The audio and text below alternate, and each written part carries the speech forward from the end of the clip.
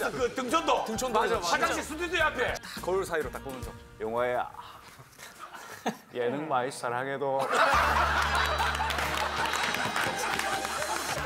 우리의 그 프라이드가 한 번도 싸운 적이 없어. 굉장히 서운한 게 한 십몇 년 쌓인 게 있어. 와 너무 오래 쌓였다. 집 가서 각자 먹자고 이제 돌아서는 때 큰 실수만 하는 애가 민혁이거든. 1절만 하고 비 페스티벌.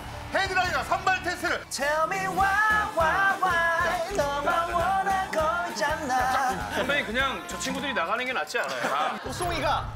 어? 고수이가 그래! 멋진 달이 될래요? 구운 밤. 관객분들